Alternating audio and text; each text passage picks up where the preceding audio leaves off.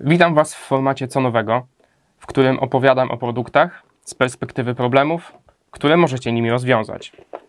Na pierwszy ogień wybrałem S1222A. Jest to urządzenie, które umożliwia klonowanie dysków y, o różnych standardach, na przykład standardu SATA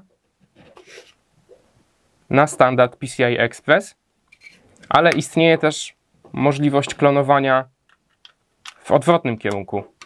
O tym, w którą stronę przesyłamy dane, decyduje ten suwak. Co najważniejsze, całość operacji możemy wykonać bez komputera. O postępie klonowania informują nas diody umieszczone tutaj. Czas klonowania jest uzależniony tylko i wyłącznie od prędkości i pojemności Waszych dysków. O tym, jak łatwo i szybko możecie wykonać całość operacji, zobaczycie w filmie, do którego link umieścimy w komentarzu.